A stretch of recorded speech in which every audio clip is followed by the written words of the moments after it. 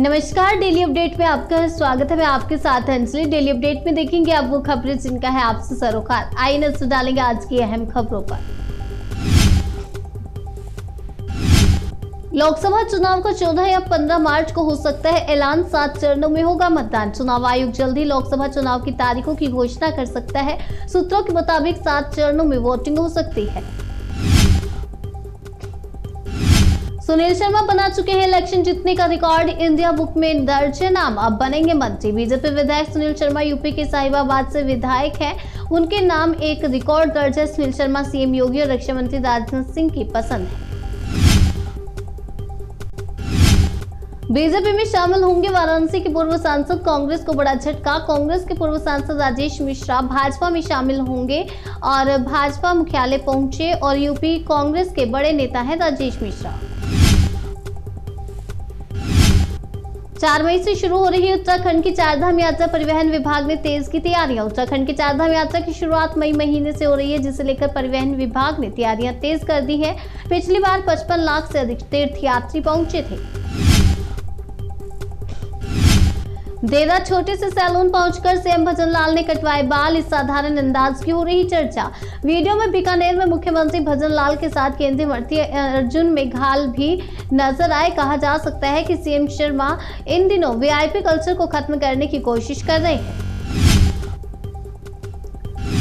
CM योगी छह को Taj Mahal station से दिखाएँगे मेट्रो को हरी झंडी। सात मार्च से जनता करेगी सफ़र। आगरा में छह मार्च से मेट्रो ट्रेन दौड़ने लगी और सीएम योगी आदित्यनाथ और राज्यपाल आनंदीबेन पटेल ताजमहल स्टेशन से मेट्रो ट्रेन को हरी झंडी दिखाएँगे। आगरा मेट्रो के उद्घाटन की यूपी मेट्रो रेल कॉरपोरेशन ने तैयारी पूरी कर ली है। ट्रक और बारातियों की बुलेरो में टक्कर, तीन की मौत, शादी की खुशियों के बीच मातम। शाहजहापुर के थाना मिर्जापुर क्षेत्र से सोमवार की रात बारात आई थी। यहाँ से लौटते समय देर रात फरुखाबाद बदायूं मार्ग पर ग्राम नैगमा मुबारिकपुर के पास ट्रक और बोलेरो की भिड़ंत हो गई। भूमाफिया से परेशान दो बुज़ुर्ग, सरकार से मांगे पिस्टल गोली। कहा, फरमाइश पूरी ना होने पर बनेंगे नक्सली। वाराणसी में भूमाफियाओं से आजीज दो बुज़ुर्ग भाइयों ने मुख्यमंत्री योगी आदित्यनाथ को चिट्ठी लिखकर अजीब फरियाद की है। बुज़ुर्ग ने सरकार से पिस्टल और गोली मांगी है। मदद न मिलने पर नक्सली बनने की भी चेतावनी दी है। केजरीवाल के एक हज़ार रूपए वाले तोहफे से महिलाओं में खुशी, छात्रों में जगी पढ़ाई की उम्मीद। दिल्ली सरकार ने मुख्यमंत्री महिला सम्मान योजना के तहत 18 साल से अधिक उम्र की लड़कियों को एक हज़ार रूपए हर महीने देने का ऐलान किया। इस तोहफे से दिल्ली की महिलाएँ काफ़ी खुश हैं।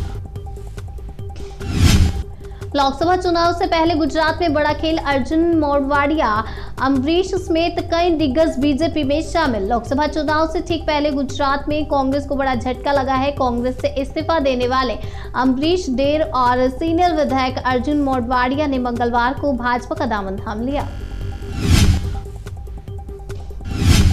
भारत एक राष्ट्र नहीं, हम जय श्री राम कभी नहीं करेंगे स्वीकार, ए राजा ने दिया विवादित बयान। बीजेपी ने लगाया आरोप। एक्स पर ए राजा के भाषण को शेयर करते हुए बीजेपी नेता अमित मालवीय ने लिखा डीएमके की तरफ़ से नफरत भरे भाषण लगातार जारी है। उदयनिधि स्टालिन के बाद ए राजा है जो भारत के विभाजन की बात कर रहे हैं। जबलपुर में स्पा संचालक नाबालिग भतीजी से करवा रहा था गलत काम। थाने में हंगामे के बाद दर्ज हुआ रेप केस। जबलपुर में हैरान कर देने वाला मामला सामने आया, जहाँ एक व्यक्ति नाबालिग को डरा धमकाकर दैहिक शोषण कर रहा था। पुलिस ने पीड़िता की शिकायत के बाद मामला दर्ज कराकर जाँच शुरू कर दी। बीएसपी नेता की गोली मारकर हत्या। आकाश आनंद भड़के कहा, खराब होती जा रही है हालत। बसपा नेता महेंद्र गुप्ता के निजी सुरक्षा कर्मी अब्दुल मंसूरी ने कहा कि उन्हें मोटरसाइकिल सवार एक व्यक्ति ने गोली मार दी। चुनाव से पहले योगी सरकार का बड़ा ऐलान किसानों के लिए खोला खजाना, एक और वादा पूरा। लोकसभा इलेक्शन 2024 से पहले। उत्तर प्रदेश की योगी आदित्यनाथ सरकार ने किसानों के लिए खजाना खोल दिया है। इसके बाद योगी सरकार ने अपने एक और वादा पूरा कर दिया है। किसानों के बिजली बिल को सौ प्रतिशत छूट दिए जाने के प्रस्ताव को मंजूरी दे दी है। मनजिंदर सिरसा का इंडिया गठबंधन पर निशाना, जिस गरीब का कोई नहीं होता, उसका मोदी होता है मोदी का परिवार। मुहिम को लेकर बीजेपी नेता मनजिंदर सिंह सिरसा ने कहा कि देश के 140 करोड़ लोग पीएम मोदी के साथ खड़े हैं और यही नारा लगा रहे हैं कि मैं, मोदी का परिवार। बम से उड़ा देंगे बेंगलुरु। कर्नाटक सरकार को ईमेल से मिली धमकी। बेंगलुरु के एक कैफ़े में ब्लास्ट के बाद अब कर्नाटक सरकार को ईमेल भेजकर पूरे शहर को बम से उड़ाने की धमकी दी गई है। पुलिस इसकी जाँच में जुट गई है। पलामू में हैवानियत की हदें पार छत्तीसगढ़ के आर्केस्ट्रा डांसर का गैंगरेप, दो गिरफ़्तार। पलामू पुलिस के मुताबिक विश्रामपुर इलाके में सोमवार को एक आर्केस्ट्रा डांसर से गैंगरेप का मामला दर्ज कराया गया है। पीड़िता पलामू में एक अस्पताल में भर्ती है। राहुल गांधी को बीजेपी कार्यकर्ताओं ने दिए आलू कहा अब सोना दीजिए। जवाब में कांग्रेस नेता ने दी फ्लाइंग किस राहुल गांधी की यात्रा जब एमपी के शाहजहापुर से गुजर रही थी, उस समय बीजेपी कार्यकर्ता राहुल गांधी के सामने मोदी मोदी के नारे लगाने लगे। इस दौरान जब राहुल उनके पास गए तो उन्होंने कांग्रेस नेता को आलू दिए और बदले में सोना देने की मांग की। एमपी में दिल दला देने वाली घटना, सात लोगों ने पत्नी से छेड़छाड़ कर पीटा। पति ने दो बच्चों के साथ कर ली खुदकुशी।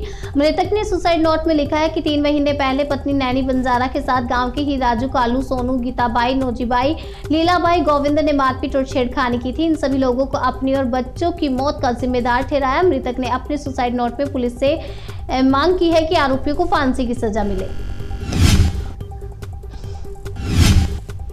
परिवार है तो क्या भ्रष्टाचार का लाइसेंस मिल गया? पीएम मोदी ने फिर साधा परिवारवाद पर निशाना। पीएम मोदी ने परिवारवाद पर निशाना साधते हुए कहा, ये परिवारवादी असुरक्षित हैं। इन्होंने देश के नौजवानों को आगे बढ़ने नहीं दिया। 50 साल से कम उम्र वाले व्यक्ति को आगे नहीं आने देते। पिछहत्तर, अस्सी, पिचासी साल के व्यक्ति को लाकर बैठा देते। डेली अपडेट में आज के लिए फ़िलहाल इतना ही। तब तक के लिए बने रहिए हमारे साथ और देखते रहिए जन से तो न्यूज़, जन से सरोकार।